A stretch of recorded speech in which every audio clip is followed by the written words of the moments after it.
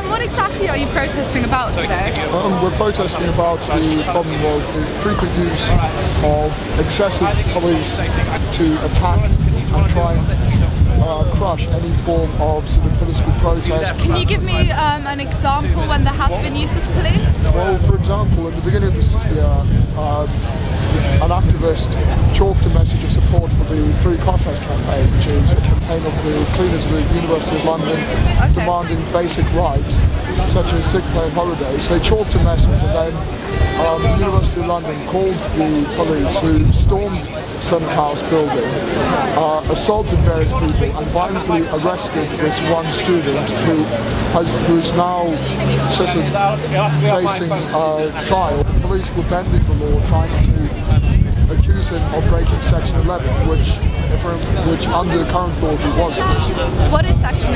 Uh, basically, he was accused of of having an unorgan, of not informing the police about a protest, but because it was on campus property, it doesn't come under Section 11. And then last night, a hundred students were violently um, attacked by police for peacefully occupying the offices of the University of London. Yeah. So you definitely think police brutality is Oh. alive and well? Definitely. I mean, last night people were being punched, kicked, dragged across the road by their hair.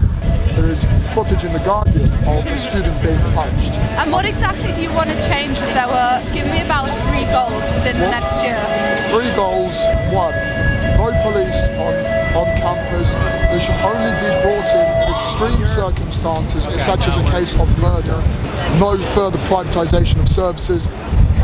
An ending of marketisation of education, and also more student, also more student, democratic student and staff say in the running of the university. Students do not have much to say. They do not. I mean, as we have seen with the use of police, they do not want students to have a say. I mean, with making it nine thousand pounds, it's sort of turning education to a commodity and students into customers. But if we're now supposed to be customers, this isn't customer service.